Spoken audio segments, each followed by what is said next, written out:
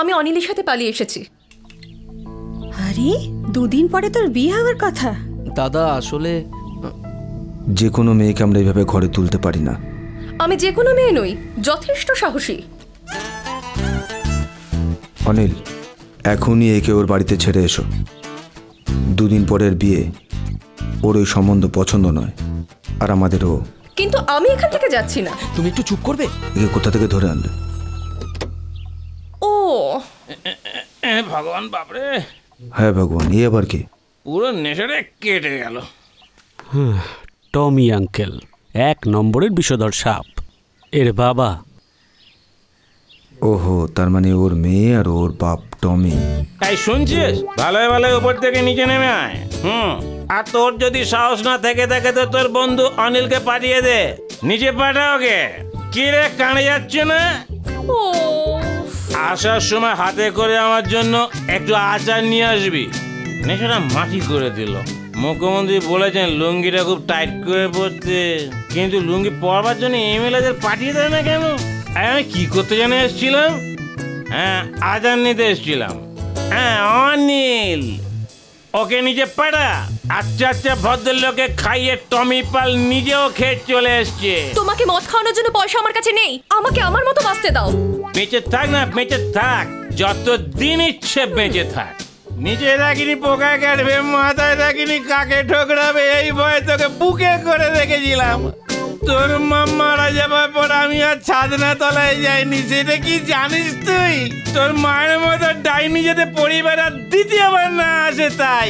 কথায় আছে পাগড়ি গেলে যাক মাথা ঠিক দেখলে হাজার খানা পাগড়ি চলে আসবে তুই এখনও আমার জন্য চাটের আচার নিচে পাঠালি না চ যাওয়া যাক তোর ভূতিটা যে কি হলো না যতবারই পড়ি ততবারই খুলে যায় অথচ মুখ্যমন্ত্রী বলেছেন সপ্তাহে একদিন অন্তত ধুতি পরতেই হবে লুঙ্গি আর ধুতি কোমরে কেন থাকে না এ, এ, আমার মুখ্যমন্ত্রী বলেছে সপ্তাহে একদিন ধুতি পরতে, নিচে বসে থাকলে পোকায় কেটে দেয় এই ধুতিটাকে নিয়ে কি যে করি? নিকুচি করে যে ধুতি পরা চুলোয় যা নিচে রাখলে পোকায় কাটবে, মাথায় বাজালে কাকে ঠোকরাবে? এই ভয় তোকে আমি বুকে করে মানুষ করেছিলাম। নিচে বাজালে পোকায় কাটবে, মাথায় বাজালে কাকে ঠোকরাবে?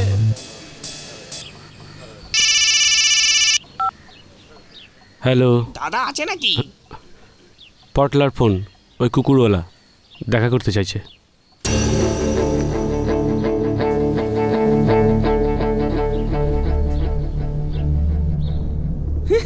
একে তো তুমি চেনোই খুব ভালো ক্যামেরাম্যান ও ফেমাস নাকি? ফেমাস হয়ে যাবে। কাউকে বলো না দাদা।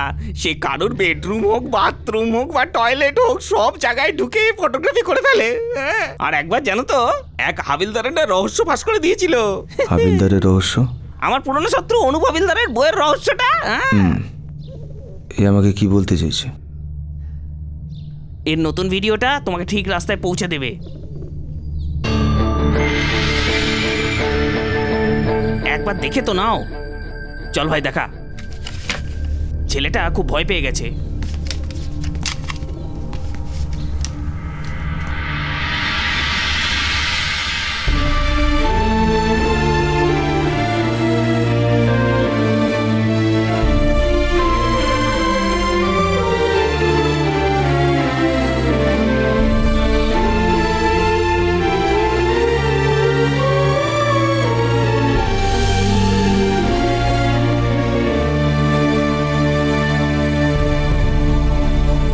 ভাই হ্যাঁ স্টিল করে দেখা না একে তো তুমি চেনোই পুলিশ উইটনেস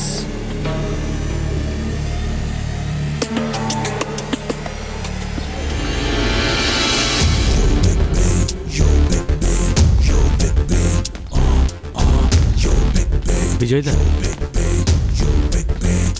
আমার ক- যা আমি ক্যামেরায় দেখলাম ওটা আমার টিচারের চেহারা যাকে তুমি তুমিও মা বলে ডাকতে। বাড়িতে ঢুকে ওকে তুলে নেওয়াটা সহজ কাজ নয়। বাড়ি তো কোন ছাড় যদিও পাতালেও থাকে তাও আমি ওকে তুলে নিয়ে আসব।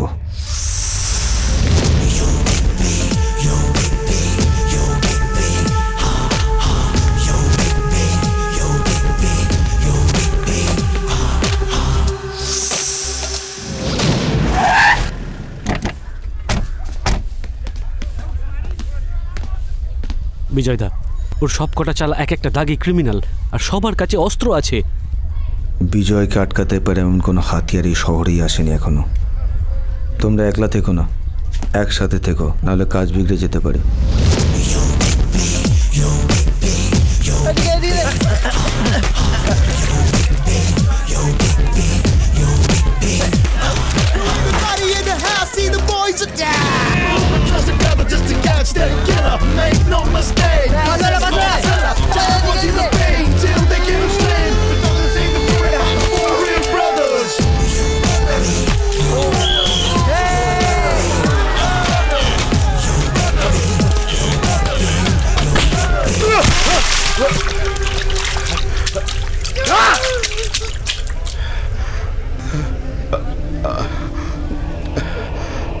যে খেলাটা তুই এখন খেলছিস, ওটা আমি ছোটোবেলায় খেলে ছেড়ে দিয়েছি ডাঙ্গুলি খেলার মতো।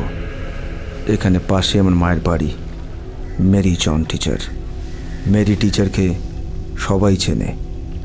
মেরি টিচারের খুনের প্রত্যক্ষদর্শী একজন এখানে রয়েছে।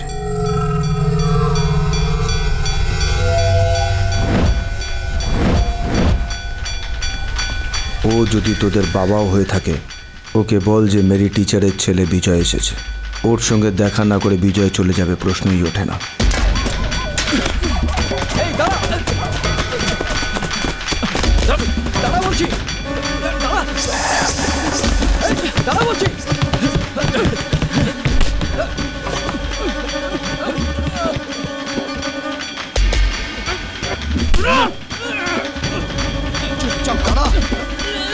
কি হলো?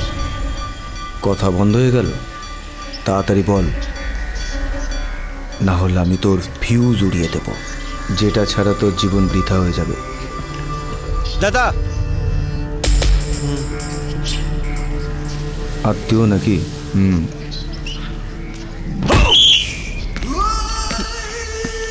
আমার ছেড়ে দাও। আমার মারছো কেন? সেটা তো আমরাও জানি না। কিন্তু তুই দৌড়ালি কেন? মাসুলস? তুই কাকে দেখে দৌড়ালি? আমি বাড়ি যাচ্ছিলাম। তুই যার কাছে যাচ্ছিলি আমি তার সঙ্গে দেখা করতে চাই। আমি কারও কাছে যাচ্ছিলাম না। তুই বলবি কারণ তুই ওকে চিনিস। নেবে তাড়াতাড়ি বল। বল। আমি জানি না। আমার দাও। ও এখন এখানে থাকে না। অন্য কোথাও থাকে আমি জানি না।